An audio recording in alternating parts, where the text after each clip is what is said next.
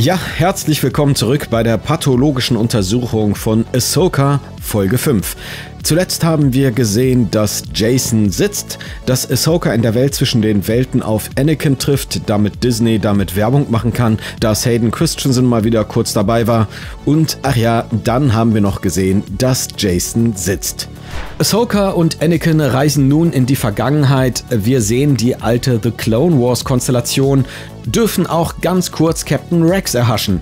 Ja, es hat einen gewissen Reiz, die Animationsserie kurzzeitig als Realfilm zu erleben und auch die junge Ahsoka-Darstellerin macht in der kurzen Sequenz einen durchaus guten Job und performt wesentlich besser als Dawson, ehrlich gesagt. Aber selbst diese Ahsoka kommt nicht umhin, dieser grauenhaften Dialogregie den Tribut zu zollen. This was the siege of Mandalore. We had parted ways by now. Ja, und dann ist da auch dieses ärgerliche Disney-Ding, dass einfach alles, alles in dieser Serie ausgesprochen und gesagt werden muss. Das ist so langweilig und offensichtlich dumm geschrieben, dass es körperlich wehtut. Für wie dämlich muss Filoni sein Publikum halten, frage ich mich angesichts solcher katastrophaler Zeilen.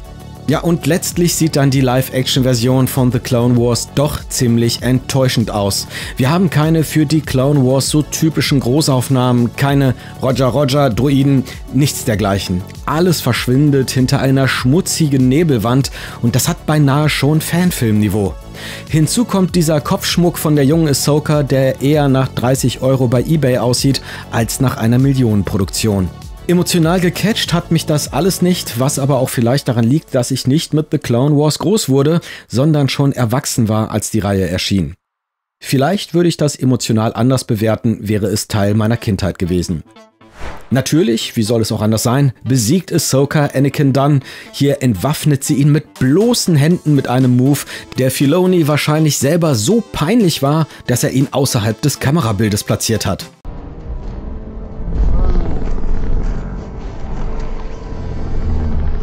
Herzlichen Glückwunsch, Ahsoka, du hast dir soeben beide Beine abgesäbelt. Erinnert sich eigentlich irgendjemand da draußen noch an Zeiten, in denen man mal richtig Respekt vor Darth Vader hatte und in denen er auch mal einen wichtigen Kampf gewonnen hat? Ja, und würde man diese komplette Welt zwischen den Welten-Sequenz rausschneiden, würde niemand es bemerken.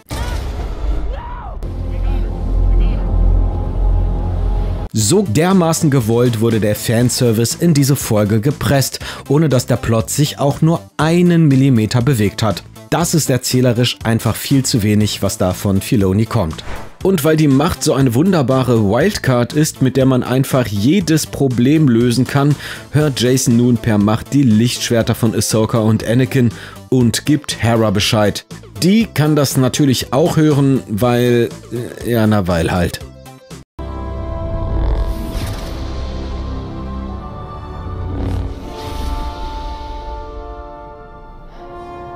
Wir erfahren dann auch, dass Hera nicht auf die Idee gekommen ist, mal die Pläne vom Hyperraumring, die Hu Yang erfasst hat, an den Senat zu schicken oder irgendjemanden zu informieren, was hier jetzt Phase ist. Nein, damit auch dieser Name völlig sinnfrei gedroppt wird, Lea Organa gibt ihnen in einer gewollt pfiffigen Aktion Rückendeckung. We're overdue at HQ. Senator Organa says she can only give us cover for so long. Das ist das, was ich als Filoni-Schwachsinn definiere. Und dann erhaschen wir hier noch wieder so ein Meisterstück an Dialog. What am I missing?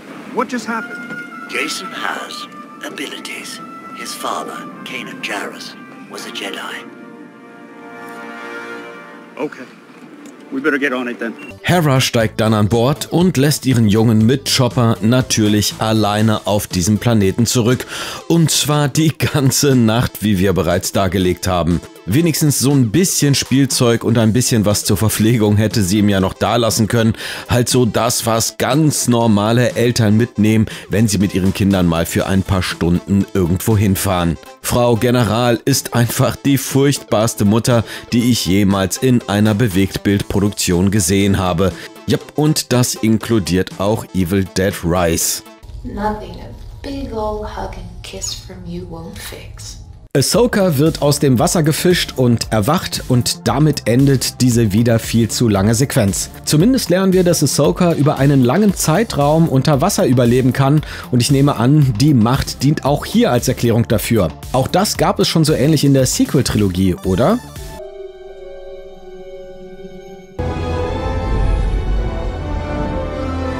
Tja, erst die Karte,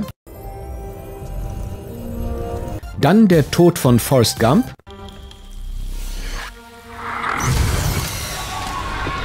Und jetzt das hier. Es ist so, wie wir letzte Folge gesagt haben, als würde man mit einer Checkliste durch die Sequels gehen und alles notieren, was nicht funktioniert hat und diese Zutaten in dieser Serie vereinen. Ja, und was hatte bei den Sequels auch nochmal nicht so richtig funktioniert? Genau, du kündigst die alten Helden Luke, Lea und Han an und die drei bekommen nicht eine gemeinsame Szene. Jupp, und auch dieser Coup wurde wiederholt. Du produzierst eine inoffizielle fünfte Rebels-Staffel, aber bringst das Team gar nicht zusammen. Nicht einmal Hera, Chopper und Sabine haben eine einzige Szene bekommen, in der sie sich in einem Raum befinden, mal von Hologrammen abgesehen und gemeinsam etwas tun. Ahsoka hat also nun die graue Kleidung gegen weiße ausgetauscht und ist durch ihre Nahtoderfahrung nun Ahsoka die Weiße. Eine hundertprozentige Übernahme aus dem Herrn der Ringe.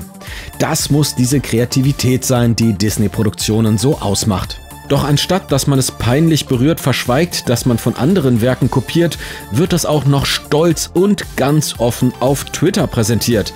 Es ist, wie ich im vergangenen Video sagte, es ist zu einem Markenzeichen von Star Wars geworden, unoriginell zu sein. Ahsokas Outfit bricht selbstverständlich mit der Rebels Timeline, wo sie schon als Gandalf auftrat, als sie Sabine zur gemeinsamen Mission abholte. Aber wen interessiert das schon? Man hat ja Anakin für 10 Minuten vortanzen lassen und das sollte reichen, um als Rettung von Star Wars gefeiert zu werden. Ahsoka ist nun wieder halbwegs fit und Hera steht wieder nur rum.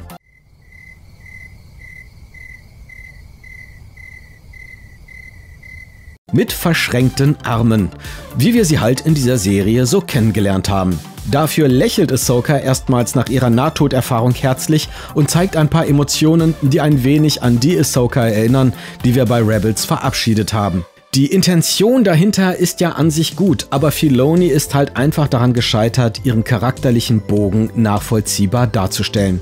Aber immerhin habe ich jetzt die Hoffnung, dass Rosario Dawson jetzt in den nächsten Folgen vielleicht mal anfängt zu spielen und vielleicht sogar eine gewisse Sympathie ausstrahlen kann. In unserer Review zu Folge 3 hatten wir übrigens vorgeschlagen, dass Ahsoka doch hätte versuchen können, nach den Purgles zu suchen und über die Macht mit ihnen zu kommunizieren, um Ezra zu finden. Dafür regnete es in den Kommentaren deftige Kritik. Wir hätten dieses und jenes nicht verstanden und sowieso keine Ahnung von Star Wars, so hieß es. Tja, und was macht Ahsoka nun in Folge 5? Man kann sich nun herbeikonstruieren, dass Ahsoka als Weiße nun erst diese Fähigkeit erlangt hat, das aber wird uns nicht gezeigt oder gesagt, weil Filoni sich eben nicht festlegen will, was mit ihr passiert ist. Aber ja, jedes offensichtliche Logikloch lässt sich schon irgendwie mit einer dummen Ausrede stopfen. Ahsoka jedenfalls verschwindet jetzt im Bauch eines Purgles in Anspielung auf den Propheten Jona und dieser Purgle soll sie also mit auf die Hyperraumreise nehmen. Und dann bekommen wir noch so einen dämlichen Dialog, der offenbart, dass Filonis Protagonistin bei diesem Abenteuer genauso planlos ist wie die Autoren. I have no idea. Die Flotte kommt jetzt an, weil Hera tatsächlich ein paar Stunden mit den X-Wings weg war. Wie dämlich das geskriptet ist, das müssen wir ja nicht noch einmal erklären. Hera versucht das zu klären und es folgt folgender sinnfreier Dialog mit Mon Mothma. Do you have evidence of Imperial Remnant activity? No. Nein, natürlich nicht. Die Aussagen von mittlerweile sechs hochrangigen Militärs, Schrottreste der zerstörten X-Wings, aufgezeichnete Daten vom Hyperraumring und dem Sprung, das reicht alles nicht. Und das nur, damit Hera irgendwas Rebellisches und Toughes macht. Willkommen in der Welt des Filoni-Schwachsinns. We're Ja, dann kommt die Flotte und wir erleben wieder beste Standkino auf der Brücke und völlig absurde, gewollt humorvolle Dialoge. Es wird nicht mal gefragt, was mit den drei zerstörten X-Wings ist. You know very well who we are and why we are here. Now, where is General Syndulla? I'm afraid that's classified information. Captain, the reason we are here is because there was no mission. I respectfully disagree. Hier sind gerade noch Kollegen und Freunde draufgegangen, aber da ist keine Emotion, keine Angst und keine Verzweiflung zu spüren. Es wäre einfach gewesen, hier mal richtig Spannung aufzubauen, eine Situation zu schaffen, in der es mal um was geht. Aber das hier ist alles so seltsam kalt und gefühllos inszeniert. Filoni kann einfach keine Geschichten erzählen. Dann plötzlich tauchen die Wale vor der Flotte auf und Hera darf noch einmal so richtig recht haben in diesem Schwachsinn an Drehbuch. Denn natürlich hat niemand von den ganzen Pappfiguren, die da hinten bewegungslos an Scannern und Navigationsgeräten stehen, die ganzen riesigen Flugobjekte bemerkt. Die registrieren sie erst jetzt bei direktem Sichtkontakt auf Warnung von Hera hin, damit die Flotte nochmal so richtig dämlich wirkt im Gegensatz zu Hera. Captain Gerard, this is General Syndulla. Dann fliegen die Wale an den Schiffen vorbei und Filoni erschlägt uns mit epischen Bildern ohne jegliche Substanz, bevor es per Hyperraum in die neue Galaxie geht. Und ich hoffe inständig, dass Filoni in dieser Galaxie bleibt und nie wieder zurückkehrt. Nachdem Folge 4 von Ahsoka noch einige schöne Elemente beinhaltete, hat Folge 5 überhaupt nichts mehr anzubieten, außer ein paar halbgaren Easter Eggs, einem gut aufspielenden Hayden Christensen, einem eher durchschnittlichen Lichtschwertkampf, der null Dramatik beinhaltet, weil bei diesem Kampf einfach gar nichts auf dem Spiel steht und den es in dieser Konstellation auch bereits besser bei Rebels gegeben hat, und der damit endet, dass Ahsoka sich die Beine absäbelt, aber immerhin noch vom Cutter gerettet wird. Dass sich Disney Star Wars in der Krise befindet, ist nichts Neues, aber dass sich zahlreiche Star Wars-Fans mit so einer peinlichen Nummer abspeisen lassen, wohl auch aus Angst davor, dass noch Schlimmeres kommt, das ist neu und zeigt nur auf, dass Disney mittlerweile ziemlich viele Fans gebrochen hat. Denn eines ist klar und da gebe ich euch jetzt hier Brief und Siegel drauf, auch wenn ihr die Serie mögt, was ja auch völlig in Ordnung ist. Dieses Lichtschwertduell zwischen Anakin und Ahsoka hier ist in spätestens zwei Jahren völlig vergessen. Niemand wird mehr über diesen Cameo sprechen. Er ist von vornherein nicht für die Ewigkeit konzipiert, sondern ist einfach nur Content, der kurzfristig auf einer Streaming-Plattform verpufft. Solche Kämpfe hier sind hingegen für die Ewigkeit You will try.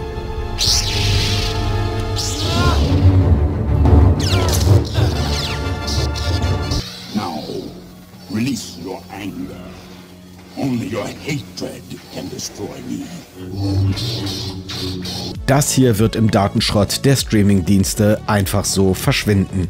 Ja, wenn es etwas Gutes an dieser Serie gibt, dann ist es wohl, dass sie eben eine neue Galaxie aufmacht und wir die Hoffnung hegen dürfen, dass Disney endlich aufhört, an der eigentlichen Star Wars Geschichte herumzustümpern. Denn Disney Star Wars Konzept ist überhaupt nicht zukunftsfähig. Auch wenn einige Kritiker Ahsoka als die Rettung von Star Wars feiern, muss man doch einmal ehrlicherweise sagen, dass das Bauen von ganzen Staffeln und Marketingkampagnen um kleine Cameos herum, wie in dieser Folge, überhaupt nicht zukunftsfähig ist.